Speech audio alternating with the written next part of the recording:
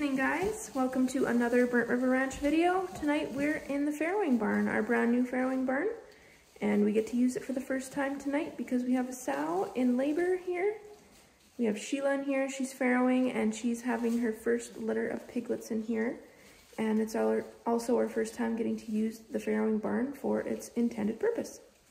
So far, she's had two little girls. We have a red one and a red one with black spots.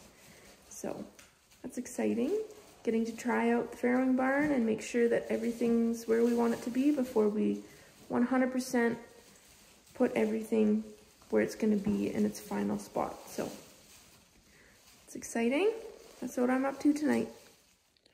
I want to talk to you guys about how we came to the decision to change our farm to using farrowing crates.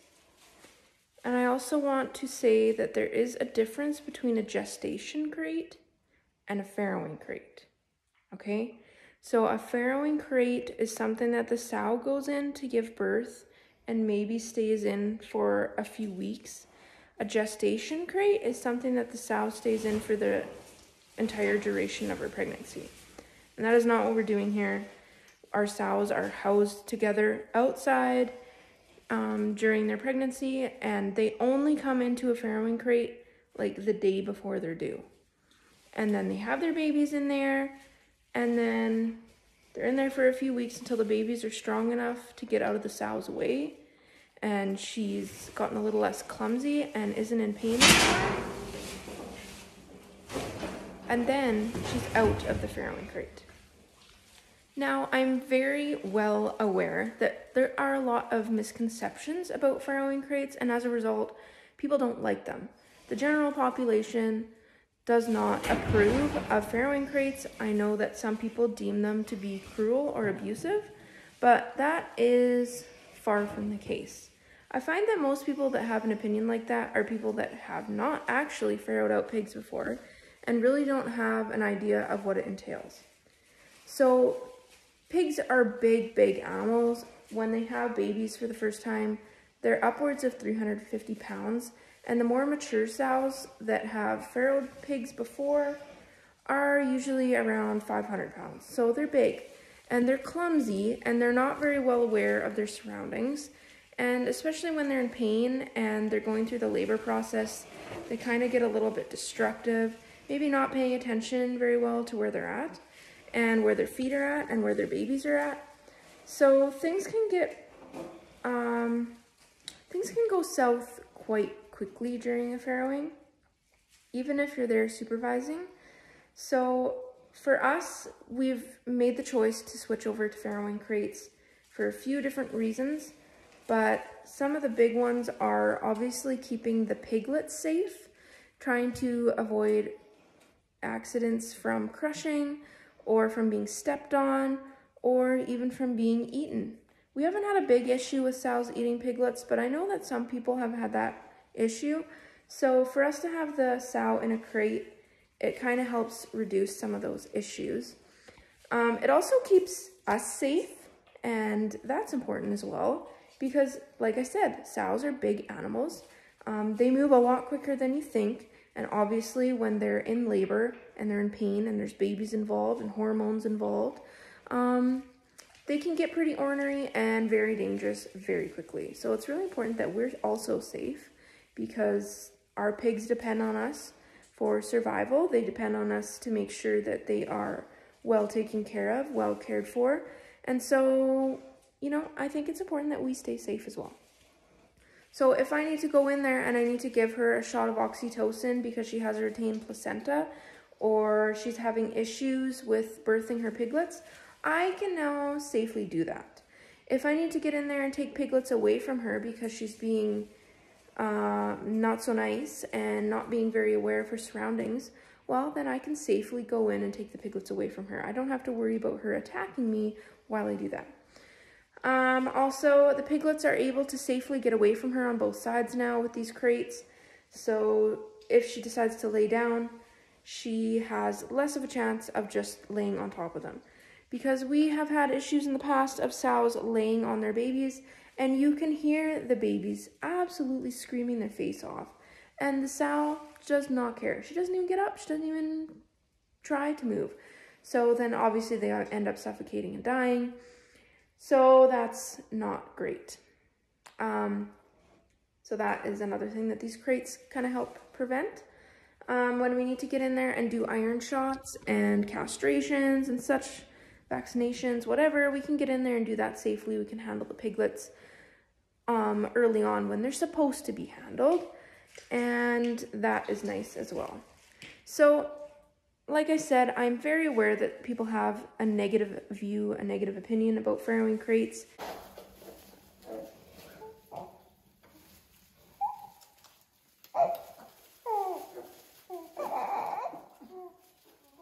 Anyways, like I was saying before I got interrupted here by a, a needy little boy.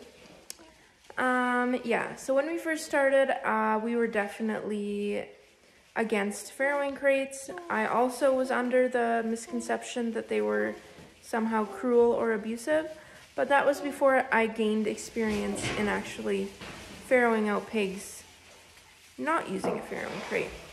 So for years now, quite a few years now, we've been farrowing pigs in a more, I guess, like holistic, natural type of approach, um, which is incredibly difficult and results in a lot more losses.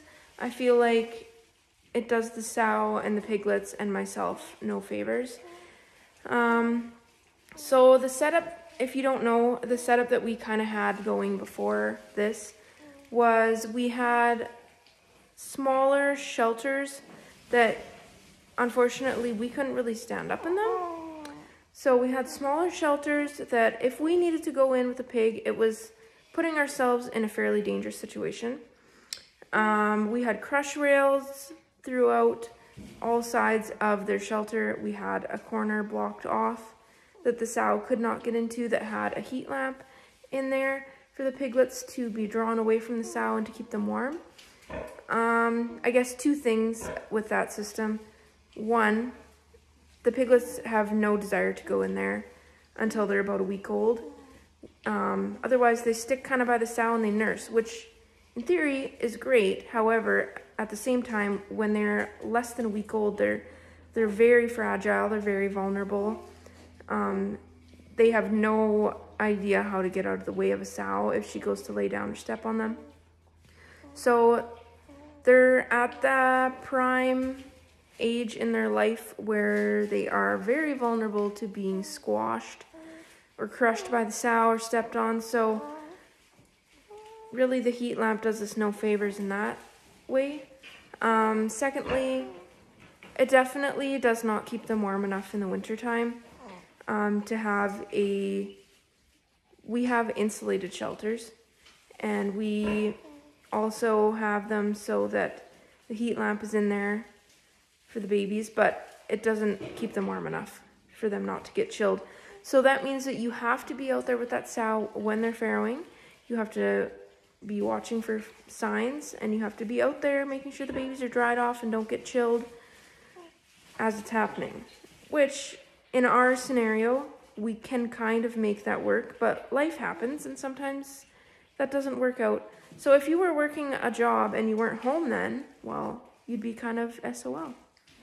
So that system, it just, it doesn't work for us. It's, for one, it's dangerous, and for two, it just, it doesn't work. We live in a very cold climate where it regularly gets to minus 40, minus 50, and unfortunately, with the way that piglets grow, you need to farrow them out in the wintertime in order for them to hit that spring pig market when everybody wants their piglets so that they're ready to butcher by fall because less people want to have piglets in the winter.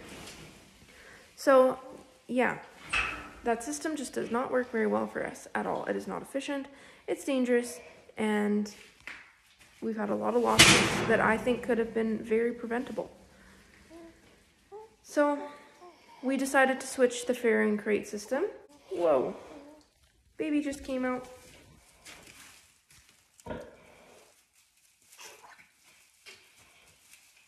I don't know if you could see that, but yeah. We decided to switch to the farrowing crate system because I feel like if this doesn't work, I don't really know what will. But we don't plan to keep our sows in here for a long, long time. So really it's, you know, a few weeks out of their entire life. Another thing about our old setup was it was so darn cold going out there in February wearing like full on insulated coveralls and a headlamp and not being able to see very well and just freezing your butt off trying to help a sow have babies. And yeah, not ideal. Definitely not ideal. There was no possible way to stay warm. Now we have a barn. It has power to it. We have lights so I can see. Um, also, if I want to plug in a little heater, I can do that. I have some space. I'm safe. I can stand up. I can see what I'm doing. It is just all around way better than what we had before. So um, in showing you guys this, I am fully expecting us to lose some followers because I know people don't like the system and I get it. I respect your opinion. I have tried the other way though and it doesn't work. It doesn't work practically, it doesn't work economically, it's inefficient. There's a lot of preventable losses. So that is why we've chosen to go this route. And I know that we are going to have people that don't agree with it, and that is fine. You do you, and we'll do us. I will show you guys a little clip of what the new barn looks like inside. Keep in mind, it is not finished yet. Um, we're trying it out and seeing if we like where we've put the crates. And if we do, then we'll bolt them all to the ground. And if we don't, then we can move them. So let's go on a little tour. All right, so we've got two doors in the barn. We've got one here, one over there. These are the farrowing crates. So we have a sow in here farrowing right now as we speak. I'm not sure if she's done yet or not. She's got seven babies in there so far. And it looks like she's starting to pass her placenta. That does not always mean she's finished, however. So, we've got three stalls on this side here. We've got these two, this one and this one, bolted down to the ground. To start with, if we like where they're at, then we will keep them there. If we don't, then we can move them. The Rune tied up in here. Hanging out in the barn for the night. And then we have another stall down here that we have not fully installed yet, so that's where it's gonna go though, probably. Um, then we have two more here. This is just very temporary setup. These guys aren't bolted to the floor or anything. And then over here is another space either for another farrowing crate or I think our plan though is to put in a milking stanchion for our milk cow for now until we build a bigger barn for the horses and the cows. So we're just gonna have to make do with this one for now because another barn is a future project for sure, not this year. That's that's definite. But we'll have a milking stanchion here, and then we have like our alleyway and our other door, and we have a window. So nice wide alleyway to make for easy clean out. And then I'll, I'll show you guys how we load the pigs in and out of the barn in another clip because it's dark outside right now. It's late.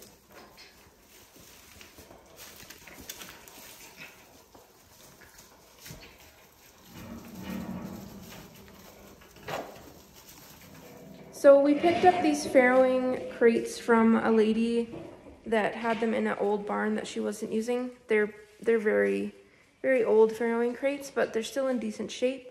Um, they needed some welding and some fixing when we got them. So that took a little bit to get them kind of all repaired and some stuff still needs to be repaired on them. So it's a work in progress, but we're making it work and we got them for free. So that's why we chose to go with them. For us, we looked into ordering some new ones and they are just incredibly expensive. So we walked out and found some cheaper ones I say free because they were no monetary value required. However, it was hell getting them out of that barn.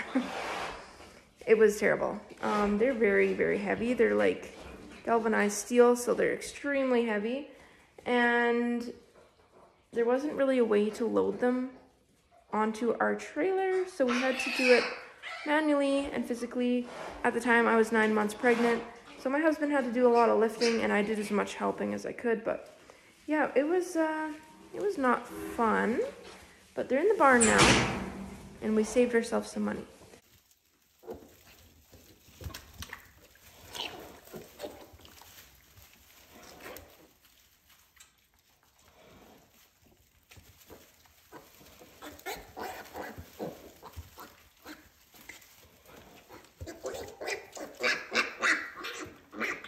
See what I said about the placenta meaning, not necessarily meaning that she's done?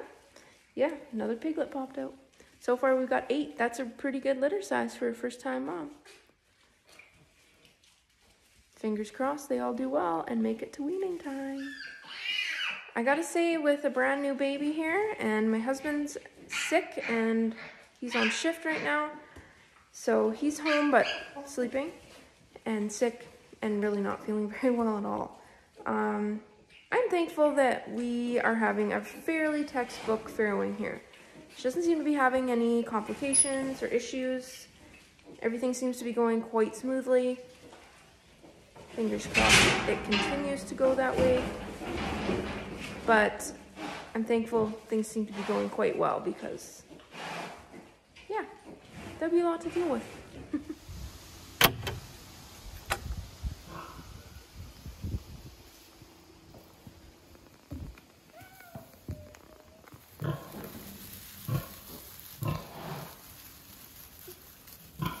Well, we're out here this morning mom and baby, seeing how everyone's doing.